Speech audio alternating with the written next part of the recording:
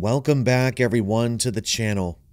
Tonight's video, I am bringing you three allegedly true, terrifying rural horror stories. The deep woods, out there in the boondocks. Now sit back, relax, dim those lights, and let's get spooky.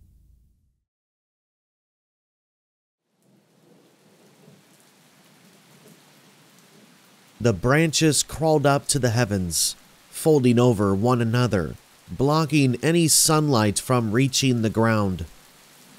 It was oddly quiet, save for the commotion of my friends, as the common squawks of birds and the occasional rustling of leaves caused by mammals were nowhere to be found. As Max and I were draping the tarp over the tent, Sarah was setting up the chairs, which now circled the pre made campfire. Penny, meanwhile, sat on a bench, her face shoved into a generic fantasy novel. The three of us exchanged a glance, watching the blonde's lips subtly open and close as she read along the page. She was so engrossed in the book that she didn't notice Sarah slithering behind her. She grabbed Penny's shoulders, causing her to flinch and let out a squeak.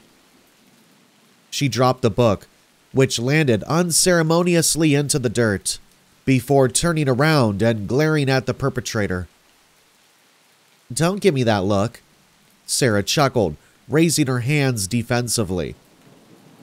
You're in a camp with all your friends, and the best thing you could think of doing is reading a book? Penny, no offense, but that's lame. Penny, who was already fidgeting under the gaze of the group, began wringing her hands together, biting her lip.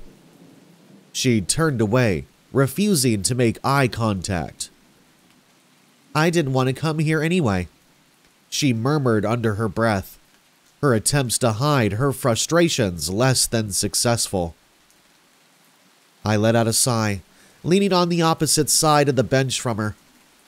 She immediately tilted her head up, teal eyes piercing through my gaze. All right, listen. How does this sound? You could decide what we do today. She perked up at that, though her expression was still laced with uncertainty. Really? Her voice teetered between excitement and skepticism. Yeah, really. Max ushered, trying to give me a look that told me to reconsider my tactic. I simply shook my head, silently telling him I knew what I was doing. He rolled his eyes but yielded, crossing his arms. Well, um, I guess I've always wanted to see you guys hunt. She trailed off, her nails swiping at the bits of dead skin hanging off of her fingers. Sarah's face twisted in confusion, tilting her head to the side. Hunt? Like hunting deer or something? Yeah, um, or rabbits. Anything, I guess. Max laughed at this suggestion. Well, we'd have to leave camp for that. Are you sure that's what you want to do? You can't just give up halfway because you're too scared. Penny's face flushed, her hands collapsing in on themselves. No, no, I won't back out. I want to see. She muttered, her voice a candle's flame compared to the forced fire that was Max's. It looked like she was regretting her choice, but didn't want to prove Max right by getting cold feet all of a sudden. Sarah, eyebrows furrowed, opened her mouth to question Penny's decision, only to be cut off by a thunderous clap. All right, well, you heard the boss. Max scuffed, rummaging in the car and producing two hunting rifles, one of which he passed to me. Even after how many times I've used it, I still couldn't get over how heavy it was. Its weight dragged me down with it, and I just barely caught myself before it could escape my grasp. Just so you're aware, I began, propping the firearm against the nearby tree as I grabbed my backpack. These are pretty loud, so you're going to want to stay back. They might damage your ears if you're not careful. Not to mention, hunting takes a really long time. Hell, with how quiet it is, I'm not even sure we're going to see another animal. Oh, and also. Okay, we get it, Johnny boy. Max interjected, his tone oozing with sarcasm. Penny's a frail, fragile flower. We'll make sure no deadly rabbit starts, I don't know, gently gnawing on her. Penny's face lit up in hot red, Sarah's giggles hiding the girl's mumble of a response. Let the boys have this one. Sarah attempted the whisper, though her words still reached the two of us. It's the only thing they're good at. I rolled my eyes slinging the pack onto my back before following Max's steps. That's so? Then I'm sure you could handle yourselves, so I'll be going without. Before I could finish, Penny's shuffling footsteps already reached behind me, her body centimeters away from mine. I could practically hear Sarah's eyes rolling as she awkwardly jogged to catch up with us. It was weird. The woods were usually filled with noise birds squawking, branches swaying in the wind, and the occasional scurrying of rodents. So, when the only sound consisted of dry leaves crumbling beneath our feet, the grip my fingers had on the gun tightened. Sarah attempted to fill the void with snide remarks, only to be silenced by, much to my surprise, Max. Each hush left her even more flustered, clearly frustrated with having the resident Joker taking her role of the responsible one. I thought that this was all in my head, that my paranoia was causing inconsequential details to appear unnatural. That was until I took a look at Penny. Her eyes, the same hue as the sky above, constantly darted to every corner of the forest. Her body seemed to slouch more and more every time, wrapping her arms around herself to block off any attacker. It was hard to tell if that was just how she usually acted, or if she too felt the urge to check behind her every now and then. I slowed my pace, allowing her smaller strides to keep up with mine. Hey, Penny, I greeted, causing her to look up at me with a start. Her wide eyes seemed to have trouble focusing on anything. I know Max's comment probably made you a little self conscious, but he's just a jackass. I promise. If you really want to go back, none of us will judge you. Well, besides Max, but again, jackass. She didn't respond, so I pressed on. Do you want to go back? Be honest, all right? She took a moment to mull over the offer before shaking her head. No, making Max wrong is worth staying. I can handle myself. Despite uncertainty lingering in her words, stubbornness overshadowing it. You know, not in a million years would I have expected your first choice for what you wanted to do would be hunting. I mean, no offense whatsoever, but I always thought you were squeamish she laughed, her hands fidgeting with the straps on her bag. No, I'm a, a big fan of biology. I've seen way worse things in documentaries than a dead deer. Though I am a little afraid. To see one in person, at least. You're the expert. What should I expect? I smiled, rubbing the back of my neck sheepishly. Honestly, not much. Hunting's a lot of waiting around. Like I said, we're probably not going to see any. Shit! Max's voice rang out across the barren forest, and on instinct, I readied my firearm.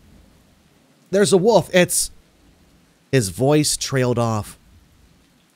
The fear that was once haunting his words morphing into confusion. What the hell? Is it dead? I motioned for Penny to stay as I approached the carcass, keeping my gun aimed at it just in case. As I neared where Max stood, the reason for his bewilderment became apparent. The corpse, the body of a young wolf, lay just a few meters away. With how its state was almost perfect, I didn't put it past him to assume it was simply sleeping. However, once I walked around it, the chunk of flesh forced out of its throat proved that assumption was false. I winced, not because of the fact I had seen the carcass. I've witnessed animals in much worse states, some caused by my hands. No, it wasn't the sight that unsettled me. It was the fact that it was done to a wolf. If it was done to a deer or a rabbit, sure, I wouldn't question it. But what the hell would take a bite out of a wolf? The potential answers to that question made me shiver, and I stood up, deciding that this wasn't safe anymore. However, before I could turn to the group and announce it, Penny brushed past me and kneeled next to the animal, studying its wound. Guys, she murmured, reaching her hand just close enough so that they weren't touching the matted tufts of fur jutting out of the sopping wound. This bite, it. I don't know how to say it. It just looks weird. It's sloppy. The flesh is all stringy, like whatever took the bite had the pull just to tear the flesh off. She pulled her hand away, wiping it on the grass next to her despite no physical contact being made. The bite marks look small, too. L like. A house dog or something? A dog, Penny? Really? Sarah's suddenly aggression surprised the rest of us, and even she seemed to be taken back by it. Her nails dug into her skin, a flash of fear overtaking her, who was always the most sound of mind. Do you realize how dumb that sounds? It's probably a wolf or something, her explanation fell flat. Penny's analysis poking holes in her logic not but a few seconds ago. What? What are you freaking out about? Did you not think we were gonna see a dead animal? Max's attempt at reassuring her was not as successful as he had hoped. In fact, it only caused her agitation to spike, her words coming out with uncharacteristic venom. The two's conversations barely lasted before Penny's meek voice cut through the argument. It doesn't have teeth. The statement, as if it were a sentence from a different language, was met with silence. Sarah's already light face now grew as pale as snow, lower lips barely trembling as she fought back the urge to let her fear show. Th- they're gone? Well, Max, scratching the back of his neck, dark eyes glaring through the carcass in the attempt to make sense of the situation. Maybe a native did it. We're close to some native villages, and they've got some crazy ass rituals, right? Jeez, oh, Max. Sarah's form now seemed to be quivering, the lightest of touches enough to set her off. Her eyes avoided the wolf with conspicuous intent, clearly attempting to direct her sudden burst of fear towards a different emotion. This isn't the frickin' 1800s. You can't say crap like that, dumbass. Hey! My voice felt foreign, as it was the three who were carrying the majority of the conversation. Sarah, you're right, but let's not turn this into an argument. I'm sure all of us are on edge, so why don't we call it a day and head back? Like hell, he scuffed, arms crossing over one another. A wolf got into a fight or whatever. It gets some weird injuries and dies. The end. So what?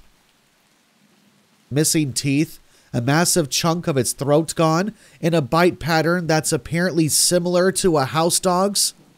I shot back, puffing my chest out in the attempt to at least level the playing field with Max's tall stature, to little success. You don't see anything wrong with that? I'm just as disappointed as you, man, but I don't want to risk getting mauled over some hunting. His eyes lit up with a fire that indicated this conversation would go nowhere. But the flame was swiftly put out as he sighed. Fine. His features softened, guilt etching itself onto his face. Hey, look, I'm sorry, alright? I didn't mean to be a dick or whatever. Let's just head back. I felt my shoulders sag, the potential fight draining me more than I had cared to admit. It's all good. I patted his shoulder, a gesture he physically cringed at. This is a bad spot to camp, anyways. We should have just gone to a public one where we didn't have to worry about any predators. Speak for yourselves. Sarah's usual snark finally returned, if a little forced. I actually agreed to come camping because I wanted to be mangled by a bear. Max rolled his eyes, though a subtle chuckle still escaped his lips. My attempt returned to the crouching girl, her fingers still tracing the edges of the fatal wound. Penny? No response. She seemed to be completely engrossed in the carcass, teal irises practically piercing through the chunks of muscle and flesh. Only when my fingers made contact with her shoulder did she jolt her head up, narrowly missing my chin. We're gonna head back out, so if you want to stop probing the dead animal, now would be great. A shade of pink splashed across her face as she rose, dusting her hands off. Before she could even finish muttering her apology, Max stopped once again, bringing forth a groan of irritation from Sarah's lips. What now? she hissed, to which Max simply raised a finger to his lips. My heart lurched, expecting to see another carcass, or worse, the cause of the previous one. But as his lips stretched into that shit eating grin, I knew so much. I wasn't sure if I would have been relieved or even more worried. There's a deer right there, he pointed, and sure enough, with its back facing us, stood a young buck. Its coat was a soft brown, the occasional splotch of white speckling its hind legs. Its head was buried into the foliage, munching away at the leaves and shrubbery.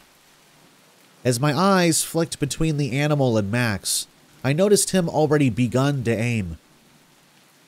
Like reading my mind, he held a hand up, stopping me from going on another tangent. It's not moving. I have a clear shot. The noise is going to scare whatever animal or monster you guys think is out here, so let me get this shot off before you start bitching. I knew better than to attempt to wrangle the rifle out of his arms, so I instead looked towards Penny. Well, guess you get your wish. I joked, her expression immediately twisting into regret. Uh, but really, you should close your ears. It's going to be really loud. She nodded hesitantly, bringing her palms up and tightening them against her ears. Sarah rolled her eyes at the display, opted to plug them with the tips of her fingers. She leaned in my direction, her voice barely below a shout as she tried to compensate for the soon to be ringing. Are you going to cover your ears or do you want to impress her that bad? Instead of entertaining her jab, I slowly pushed my hands closer to her sides, knowing that she wouldn't be able to block it out without sacrificing her hearing. Hey, hey, I'm sorry, jeez. She shuffled away, opting to shove her fingers back into her ears. Max's finger curled around the trigger, the firearm readying itself for the impending shot before the percussion of gunfire shook the ground beneath me. The lack of panicked birds fleeing from their homes would have unnerved me if not for the sight of the deer. Though I was sure Max got a clean shot through its skull, the animal remained standing, its only movement consisting of its jaw slapping down harder on the vegetation. Max leaned back, the rifle now aimed at the ground. One's steely eyes were now wide with confusion, dark eyebrows knitted in frustration. He muttered something under his breath, either a curse or a question. Sarah, who had been plugging her ears with a smirk, now let her arms drop to her sides. The fear I saw earlier returned in full force, her previously pale face now a ghostly white. Did you miss? She squinted before clearing her throat and repeated the question in a more confident volume. I. I thought I landed the shot, he replied, voice trailing uncharacteristically low. It only became apparent just how silent it was when the eventual ringing faded, leaving nothing in its wake. Not even the sound of my breathing could fill the suffocating void. Why? Why isn't it running? The question shared by the group only left one mouth Penny's, as Max and Sarah remained speechless, anxiously waiting for someone to answer. I didn't have enough time to alert the others as I saw Max's shaking finger tighten around the trigger once more. This time, when the shot rang out, a burst of blood spurt from the other side. The bullet tore straight through the skull of the animal, allowing me to see the greenery on the other side. And yet, it still stood. No, even worse. It was moving. The deer's head lifted, rusty marionette strings forcing its mouth away from the vegetation. Mechanically and with little motor control, its body turned. One foot stumbled over another, causing it to trip over itself, and I could hear Sarah let out the breath that she had held since Max first pulled the trigger. Her relief was short lived as the herbivore caught itself, the sudden halt in movement causing a chunk of something to spill from whatever within its throat. As its face came into view, Penny gagged, hand clasping over her mouth. Its left eye, once full of life, retained not a single trace of color. A gray, lifeless orb bulged out from sunken sockets, tendrils of red snaking from the ends of its pupil. Its right eye, however, was no longer there.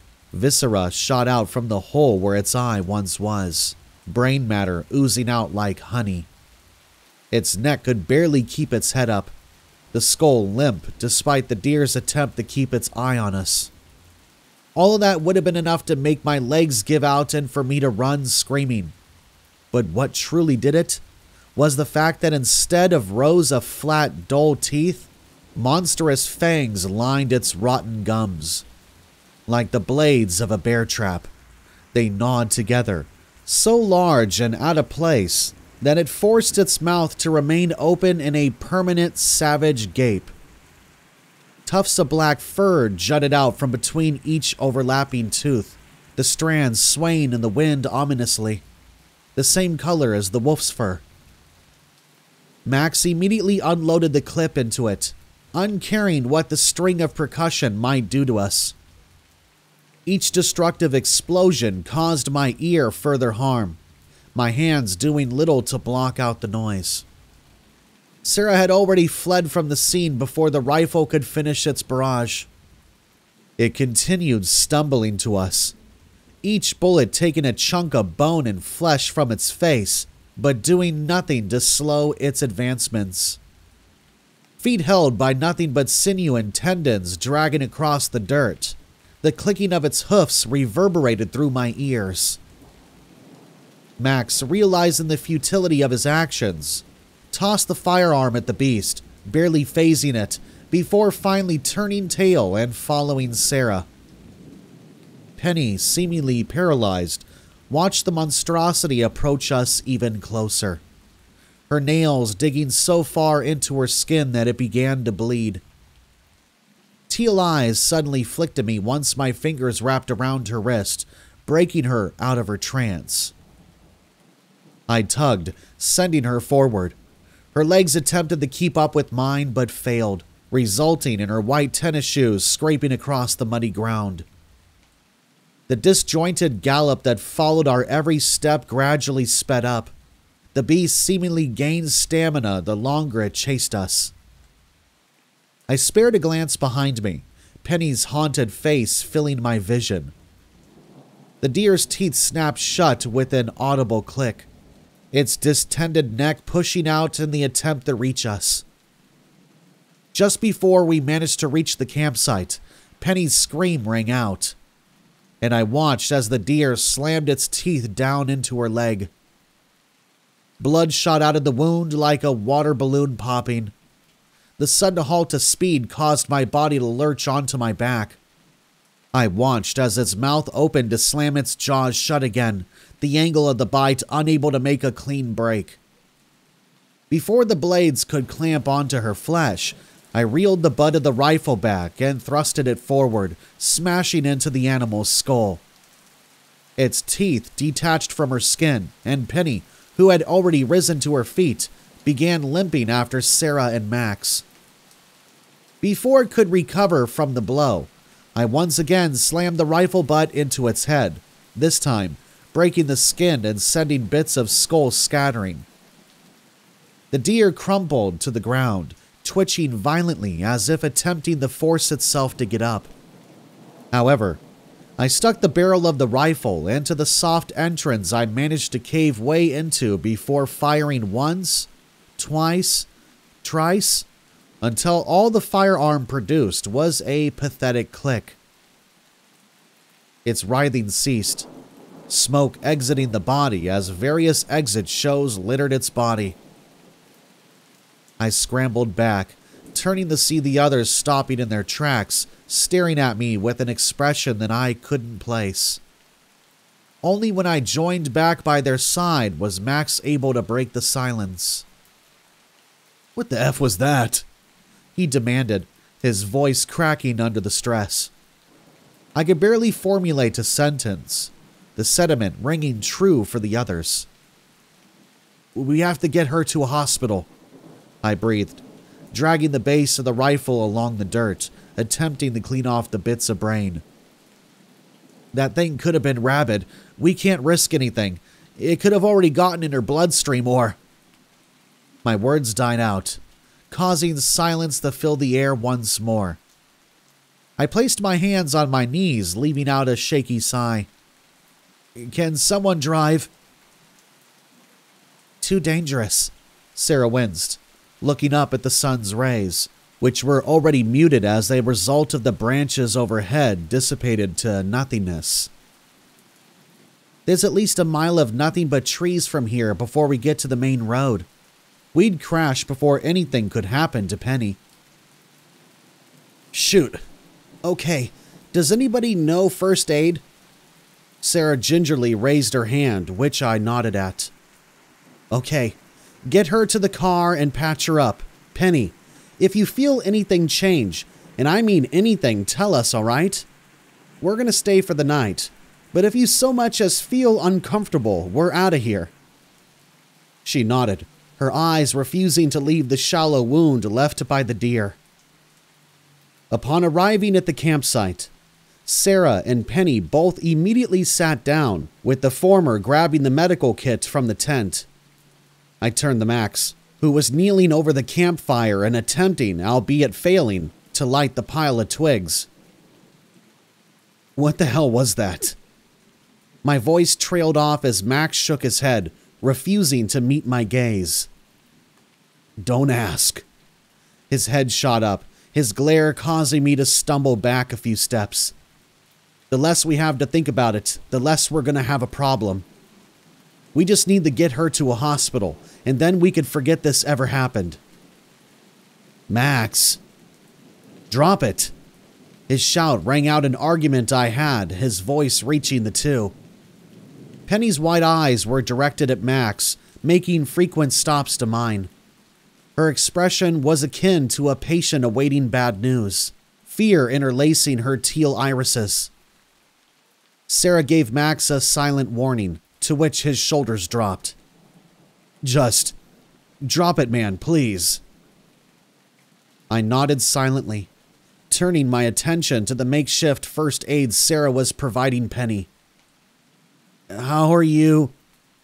Penny's head suddenly jolted up a movement that never failed to startle me. It didn't help that my paranoia was already at its maximum, causing my muscles to tense.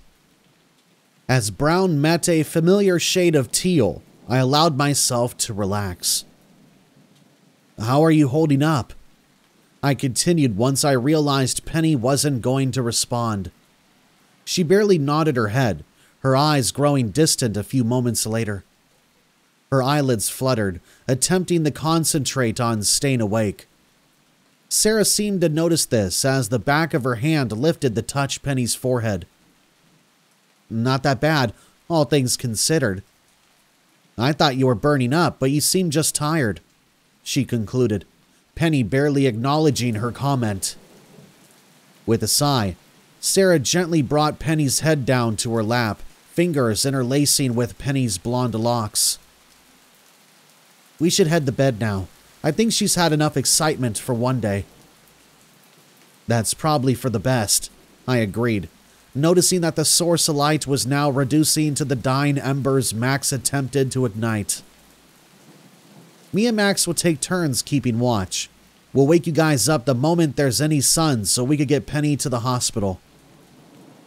Sarah hummed in approval, gently tapping Penny's cheeks, whispering something that caused the blonde form to rise. She was practically dragged to the tent by Sarah, who gave a small wave before disappearing behind the fabric. Max and I stood in silence, neither daring to make the first move. I'll take the first watch, he muttered, fingers digging into his pockets as he fished out a cigarette. Least I could do for losing my rifle back there, right? You could sleep now, I got this. His attempted humor was half assed, even by his standards. Right, Disappointment etched itself onto his face as my lack of reaction caused him to sigh. If anything happens, please wake me up. He nodded, fighting the cancer stick before collapsing onto a chair, his stare fixated on the tree line. I spared him a final glance before entering the tent, which was situated across the girls' tent. Though the interior of the two I didn't pay the jutting rocks digging into my skin any mind. Though the sense of dread I felt in the forest no longer loomed over the air like a thick smog, they still didn't mean I couldn't ignore the fact that there was something wrong. I was sure that something was lurking in those woods that upon being awoken by Max, I was half expecting to see his pale face, eyes wide with horror, shaking my shoulders and telling me something terrible had happened but all I awoke to was his dull expression, eyes drooping with exhaustion. Your turn. By the end of his words, he fell onto the sleeping bag, his loud snoring already sounding off before I left the tent. The fire, which had already been reduced to a few desperate embers, flickered in the wind as the dying flame miserably fought to keep itself alive. I tossed a few logs into it before beginning my trek around the campfire, my body desperately screaming at me to return to my sleeping bag. However, the encroaching darkness fought off only by the dying fire, and the rare ray of moonlight was all the brain needed to keep my legs moving and my body upright. Or I hoped it would. By the half hour mark, my butt of my rifle which started positioned firmly to my right hand, now dragged across the dry terrain, the imprint of a circle appearing wherever it trailed. Max's shift seemed to be eventless, but never had I experienced boredom to so easily replace any remnants of fear. Eventually, my wandering brought me to Sarah's seat, which sat right in front of their tent. I carefully sunk my weight into it careful not to make too much noise to potentially wake Penny up. It was quiet, far too quiet. Yes, it may have been the dead of night on a day with little wind, but I still found myself yearning for the chirps and trills of distant insects. Irritation was a preferable emotion to isolation, I figured. Each time my head bobbed down, eyes threatening to close a howl of wind would pierce through the silence and jolt me awake. The sun was beginning to rise, making up for the dwindling flames of the campfire. When I was shaken out of my stupor once more, But this time, it wasn't the sound of leaves swaying in the wind, nor was it the swaying of twigs. It was wet. Though barely audible, the crude squelches instantly brought me to my feet as I walked to the side of the tent where Sarah slept. I get that you're hungry, Sarah, but you really shouldn't be up right now. I ushered, my voice careful not to rise too high.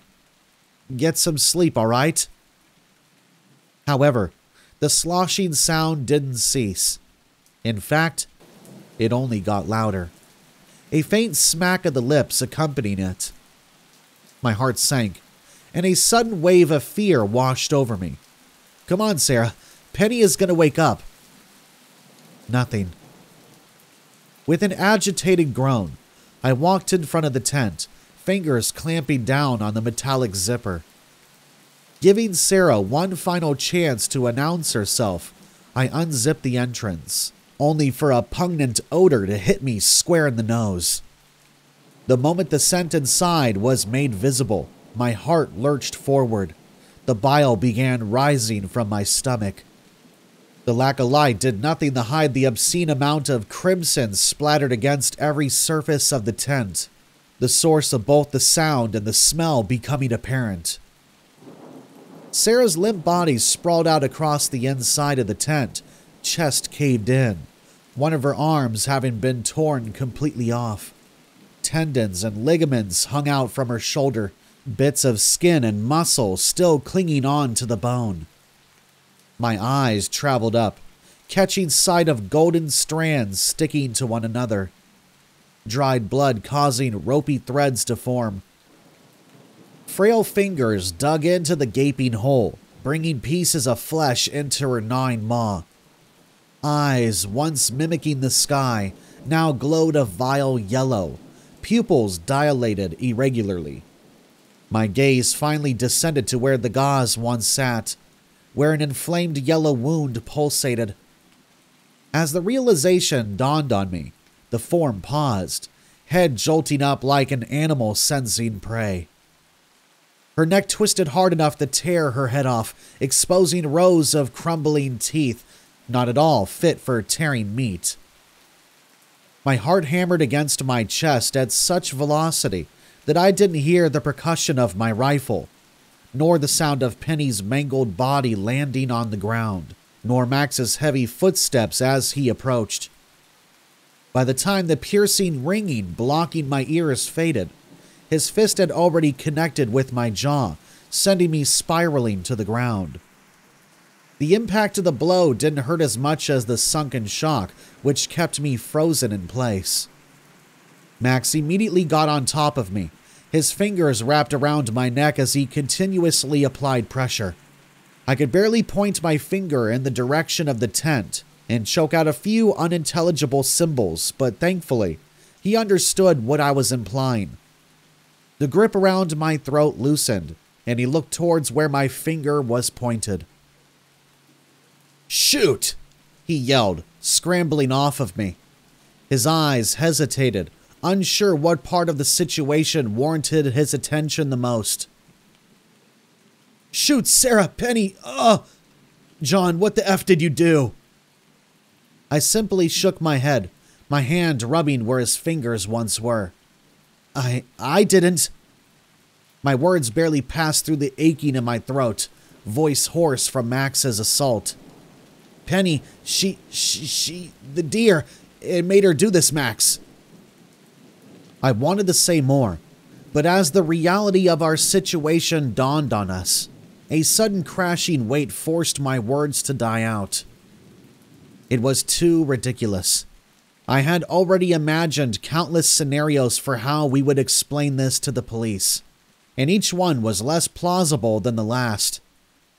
A mix of a laugh and a cough escaped my lips, the absurdity of the situation taking away the realization that I had just witnessed my two closest friends die a gruesome death.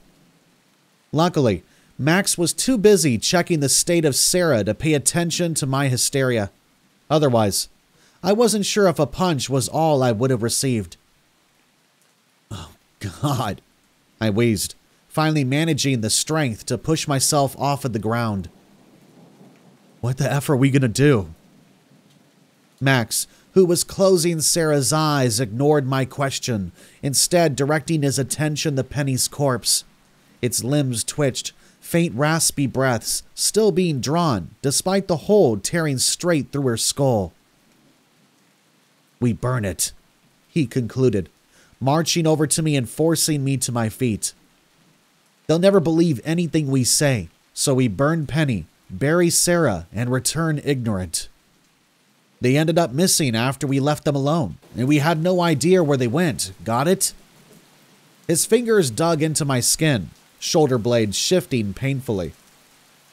All I could muster was a pathetic nod that wouldn't easily be mistaken for a shiver, the merit of a plan outweighing its morals. I didn't need to look up to realize how out of his element Max was. My shoulders ached not only because of the pressure applied to them, but the constant shifting as a result of his quivering. I'll bring the shovel, I muttered, gently prying Max's fingers off of my shoulders. Once freed, I grabbed the tool from the car, returning to the gruesome scene. Who's dragging Sarah? The words felt heavy on my lips, and the moment they left, a rush of guilt flooded through my veins. How could I talk about her like she was just some thing now? I stared at him expectantly, and he back at me. After a few seconds, he finally sighed, his shoulders slumping. I'll do it. He entered the tent, giving me room to grab Penny's ankle, the one that the wound wasn't located on. Though the feeling of the flesh, soft and pliable, sent my heart racing, I refused to acknowledge it. Max finally exited, Sarah's broken figure dragging along the ground, blood pooling beneath her. The walk through the forest was silent, neither of us daring to utter a single word. A mix of fatigue from a lack of sleep and the events that transpired caused my vision to blur. The only thing keeping me awake was the feeling of her limb in my hand. I was so caught up in the daze that I didn't notice when Penny's body began to resist. Her fingers clawing at the dirt, desperate to break free. I did notice, however, when five bony digits wrapped around my ankle, forcing me back to reality. My hands fumbled for the shovel and slammed the sharp tip down, uncaring of who or what the source of the appendage was. There was a sickening crack, and the guttural groan escaped Penny's lips. The limb, its state of rot increasing exponentially, was cleaved clean off, dark, cold blood dyeing the dirt and the shovel an inky black. Her other hand came up without skipping a beat, but by the time the decaying fingers wrapped around my calf, Max was already aiming his rifle. The percussion caused my ears to ring, but the sudden release of weight was worth it. While the idea of burying the body may have seemed barbaric before, I was now more than willing to throw her limp figure into the blazing inferno if it meant not having to see her reanimated corpse move once again. Max, noticing my hesitance to touch Penny's body once again, grabbed her remaining leg, dragging her alongside Sarah. Once we arrived at a far enough clearing, I dug the shovel into the ground and peeled back a layer of earth. The sound of the metal digging into the earth violated the silence that seemed to be desperately clinging to the forest. Each shovelful took an eternity, the physical labor only heightened by the emotional toll. By the time I had made a shallow hole barely deep enough to cover Sarah, my limbs were beginning to ache. Max, noticing my exhaustion, grabbed the tool out of my hand. He pointed at the pile of dry leaves, sticks, and shrubbery covering Sarah, silently ordering me to gather more. By the time I returned, arms full of foliage, Max had already finished digging Sarah's grave. A makeshift cross made of two branches dug into the dirt acted as her headstone, I opened my mouth to tell him that marking her grave would only lead police directly to her body, but he must have already come to that conclusion as his foot reeled back. The cross burst into various splinters the moment Max's foot connected, scattering across the makeshift headstone. Without a word, he dragged Sarah's corpse into the hole, the body tumbling down, leaving pieces of red mush stuck in the dirt walls. He kicked the dirt in, her form slowly but surely being obscured. Her face, initially stuck in a ghastly expression of agony, was now calm, almost peaceful. Why? His voice cracked once he dropped the last bit of dirt, the mound barely standing out amongst the rest of the ground. He waited, and once he realized he wouldn't get an answer, his head turned towards me. The moment our eyes met, I instinctively returned my attention to the pile, where I dropped the bundle of shrubbery I held. I'm sorry, was all I could mutter before dousing her still convulsing body in gasoline. You. you didn't deserve this. Neither of you did. I'm so, so sorry. I threw the empty container aside, taking the box of matches from Max and lighting one. My hands held the small flame over the gas covered pile, but I couldn't bring myself to drop it. To be the one to take her life was one thing, but this? Burning her corpse until it was nothing but ashes? The fire managed to reach my fingers by the time Max's patience ran thin. He slapped the match out of my hand, the whittled stick falling onto the tower of branches. It took a second for the fire to spread from a twig, then to a leaf, then finally, to the gasoline. A blast of white enveloped my eyes as a burst of fire shot up, tongues of flames lapping at each other over until all that remained of Penny was ashes. The walk back was just if not quieter than the walk to, now that the sound of dragging corpses was absent. I stole a glance at Max, the usually tall and proud figure now bent over, shoulders sinking, and his gaze permanently fixated on the dirt. Sarah. His voice cracked, the mere mention of her name threatening to tear down his walls.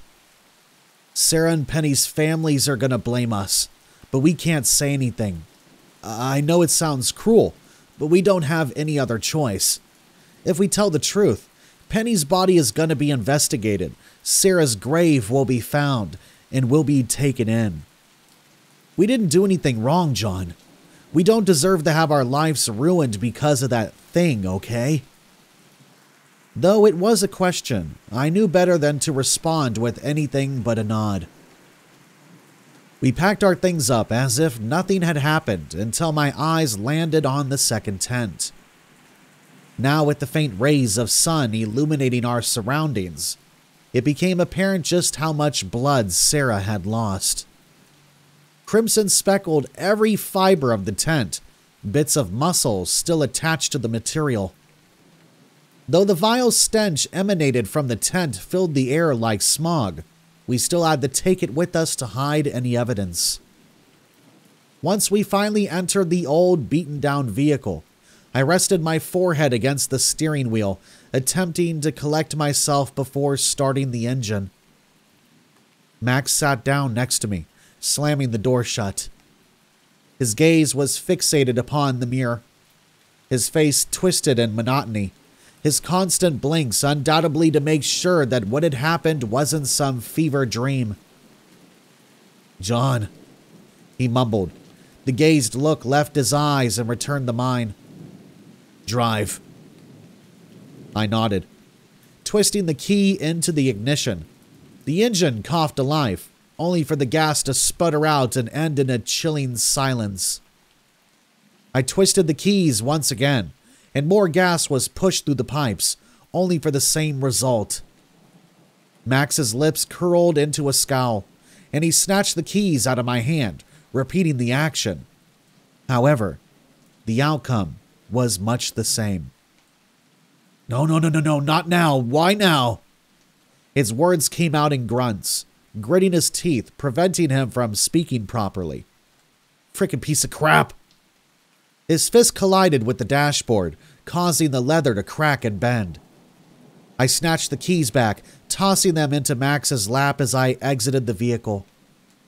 I lifted the hood, eyes scanning for any of the usual problems the truck went through. At last, I managed to find it. The distributor cap was crooked, and the electricity wasn't being transferred to the rest of the system. As I twisted the cap, however, the faint sound of footsteps caused my heart to stop. I turned to where Max was, hoping he was the cause, but only saw him sitting in the driver's seat, frantically twisting the keys. Another step led up to the vast expanse of trees, barren and swaying ominously. From beyond the shadows, a hand reached out. A hand that belonged to Sarah. Her gray sleeves, stained with crimson, fell down her arm as she latched onto the side of a tree, bringing her forward. The shadow of a branch covering most of her, as everything aside from the limb was doused in darkness. Sarah? Familiarity flashed over Max's eyes as a massive smile broke across his face. Without a second thought, he stumbled out of the truck, his arms opening wide. She continued the hobble forward, weak limbs barely able to support her body. And yet, the shadow never left, and her right arm remained the only part of her body visible. As she approached, however, it became increasingly clear that her dark silhouette wasn't the result of lighting. It was charred black. Max, get the hell back here! He stopped momentarily, glancing over his shoulders, eyebrows knitted in confusion. That's not Sarah!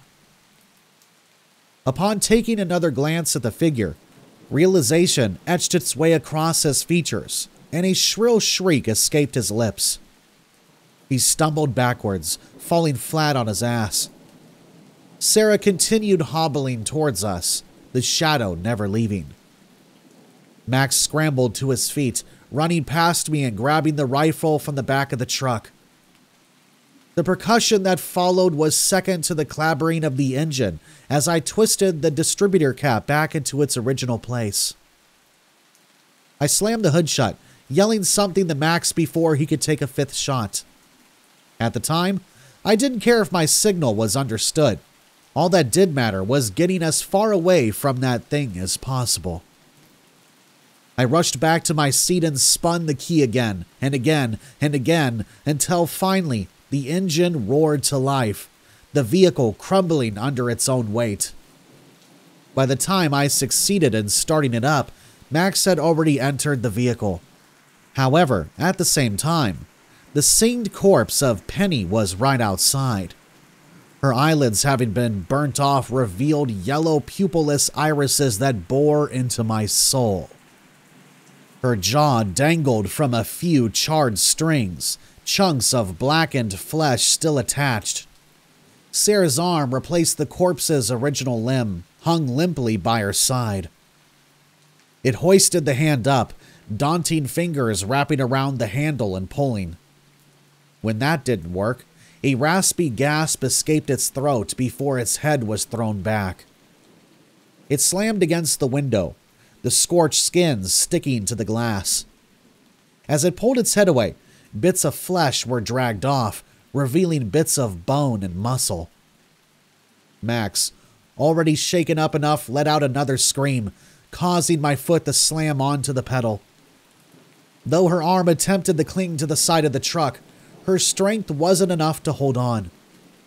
The moment the vehicle lurched forward, her mangled body crumpled to the ground, bones crushed like leaves as a violent bump sent the car upward. I refused to look in the mirror. Every ounce of my body urged me to focus solely on the road ahead. Trees encroached on our position, branches slamming against the car and denting the paint. My only saving grace for avoiding a head on collision was the little light peeking through the canopy. Eventually, the sight of the outstretched road greeted us towering forestry replaced by barren fields.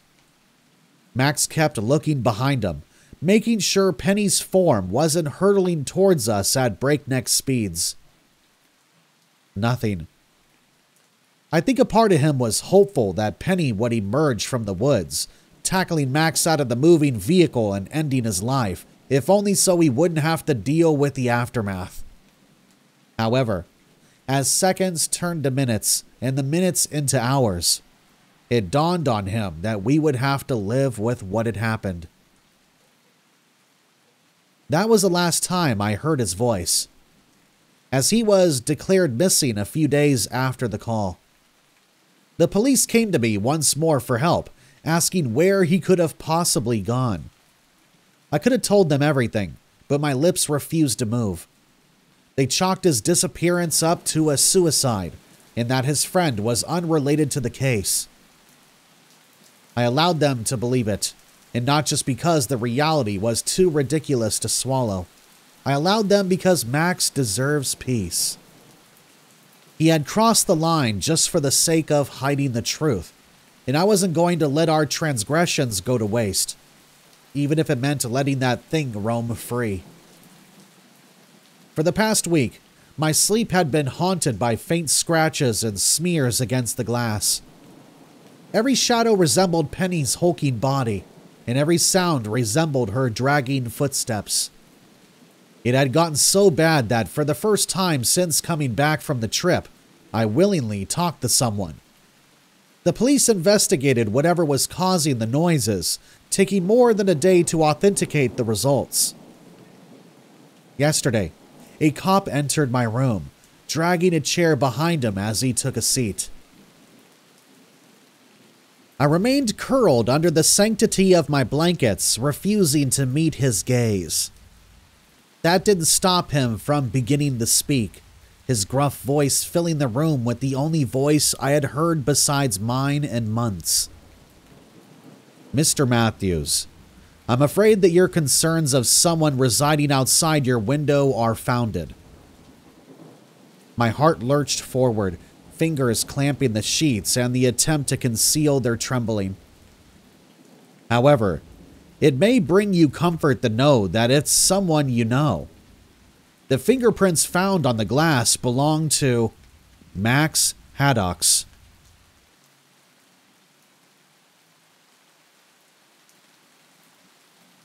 For context, I'm a professional wilderness explorer. Since I was young, my passion had been geared towards the wilderness. I have hiked on rough terrain in many countries. I know the wilderness like it was my own precious child. I research what specific wildlife lives in the area before I go hiking, so I know what to be prepared for. That's what makes this ordeal even more terrifying.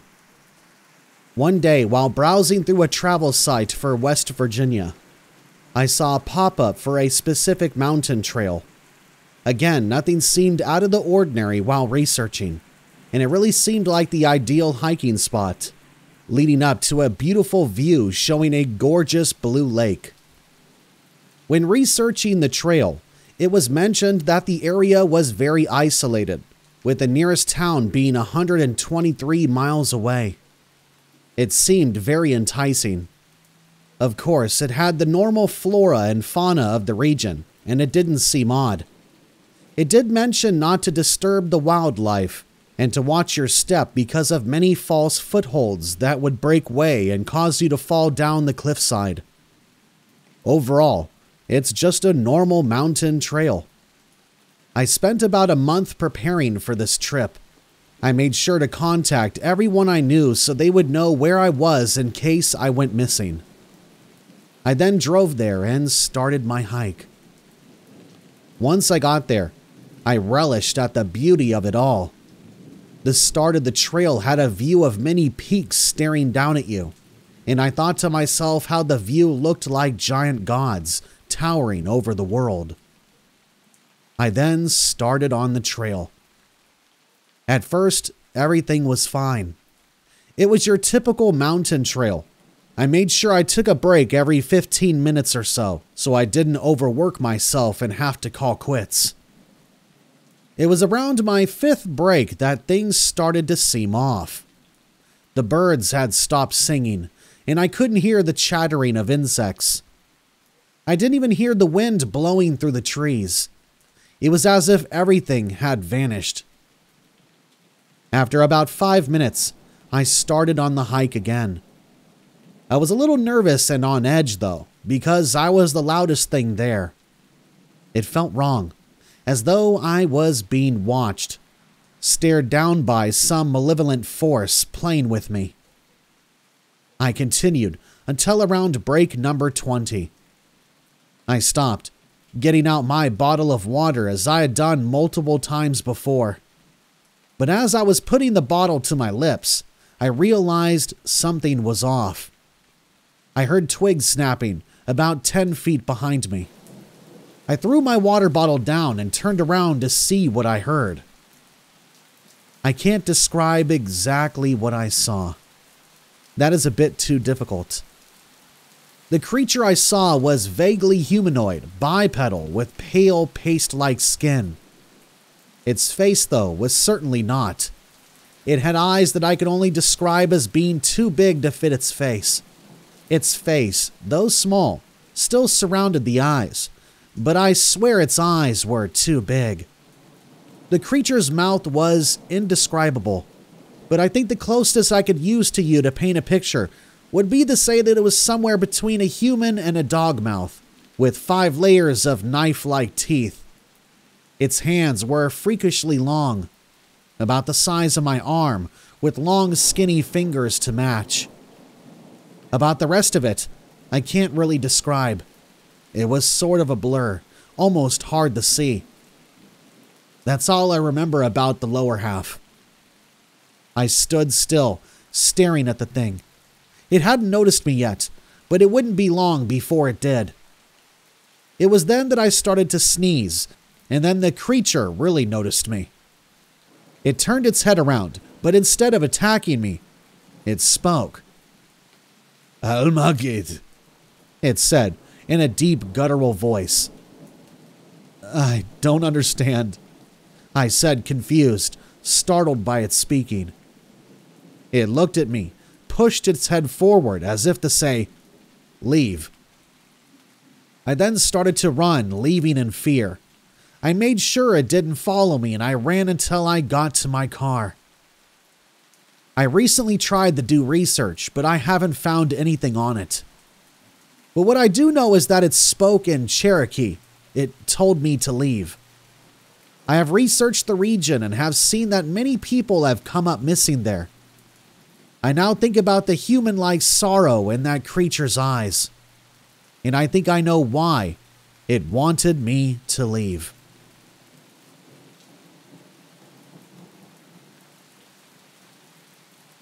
My family have always lived in the countryside, but we moved to a bigger house because the previous owner was getting impatient for it to be sold, so we crashed the price. This new house was in a pretty deep part of the forest. I read that the Native Americans used to live in this area. A couple of months after we moved in, I decided to explore the forest. I never found anything interesting until one day. I went further into the forest than I had ever been before. I found an old, dilapidated log cabin. I would have went into the house the same day I discovered it, but I had no necessities on me at the time. I came back to the house after two days with a Swiss Army knife, about one liter of water, and a thick jacket. I noticed some candle holders that were sunken into the ground. Oddly enough, one of the candles looked like it had been recently lit, with some wax that seemed to have run off. I entered the house, and everything seemed normal. That is, until I saw something that stuck out. There was an attic to this house. I was afraid to enter the attic, but I entered anyways. Once I got up there, I saw something horrifying. I saw a terrible effigy with the legs of a goat, antlers of a buck, but the most horrible part was the torso of a human. I threw up in the smell of this room and passed out. I don't know how long I slept for, but I immediately ran out of the cabin, even though it was dark out. I could roughly make out new markings on the trees. It seemed to be symbols, but I couldn't understand them. I got back to my house, and it was then that I noticed I was bleeding at the chest. I was bleeding because I had a symbol that resembled the same ones in the trees on my chest. I took a shower and fell asleep until the morning. My family told me that they were going to the store, but I told them that I wouldn't be going. I spent most of the day inside on my phone, but every now and then I saw something dart across the yard. I finally put my phone up when I heard a loud bellowing screech outside. It wasn't like any other human I had ever heard in the woods. I opened my blinds to find a horrifying creature about 20 feet away. It looked similar to the effigy I saw earlier, except this creature had a hood over where its head was supposed to be. It looked at me and I saw its eyes, but no head. Just an empty black void. It screeched one more time before returning back to the woods, and it shook the ground with every step. I told my family over the phone that I would be moving out immediately.